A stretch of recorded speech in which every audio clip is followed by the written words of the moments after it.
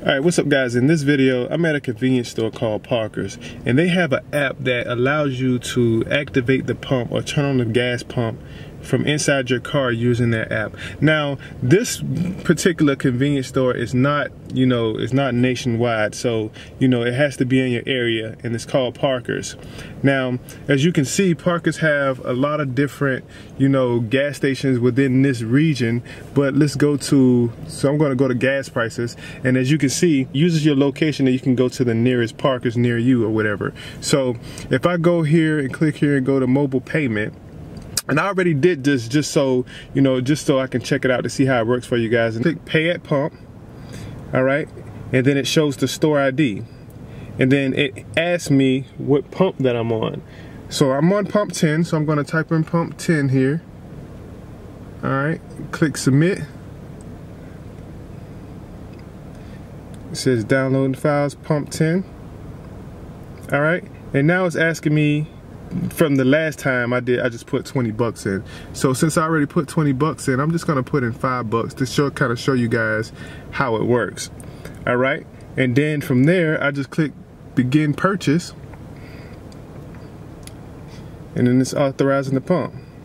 Now it's asking me for my um, PIN number, so I'm gonna type that in. All right, so once I enter my PIN number,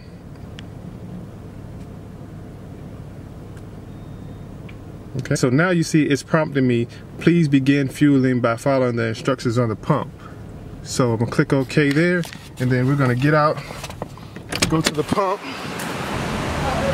Please lift nozzle, choose grade.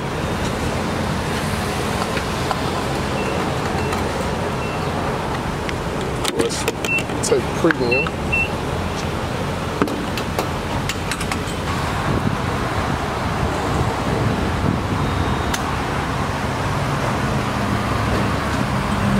Mount limit reached. Fueling complete. And hang up the pump. Now I go back to the app and it shows me, you know, the price that I paid, well, the price it would be normally, and if you have a Parker's card, with how much the amount you save. So it looks like I saved five cents per gallon. Now the easiest way to do this, if you are in an area that has a Parker's, is to go in the store, get a Parker's member card, go ahead and sign up for that, and then come back to the app and put in all the information from your um, from your membership to get the app. All right, and then you have a show receipt button here. I can just click show receipt, and it gives me an actual receipt of my transaction.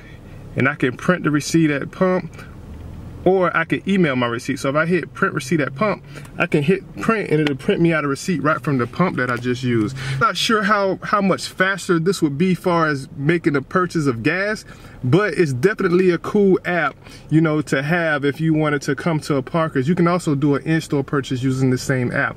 But just imagine if you have a favorite gas station that you always get gas from on the regular and you're able to use an app to activate the pump to get your gas. I think it's a really cool feature. I don't think I would use it much just because, um, you know, it, I don't know how much quicker that is versus getting out of the car, putting my card in, typing in my PIN number and getting gas right at the pump versus going through all these different prompts to get gas from the app. So but it's definitely a cool idea. I thought that i would share i would share it with you guys. If you guys do want to try it and you are in an area that has a parker's convenience store what I suggest if you don't have a membership is going into the store, getting the Parker's card, you know, signing up and then download the app and then you will have all the credentials you need to input into the app so you can be able to, you know, get gas at the pump. You know, I heard a commercial they're advertising where that, you know, you can start the pump from inside your car and you can do just that as you can see as I demonstrated that you can actually start the pump, get gas all without swiping the card right from the app, right from the car. So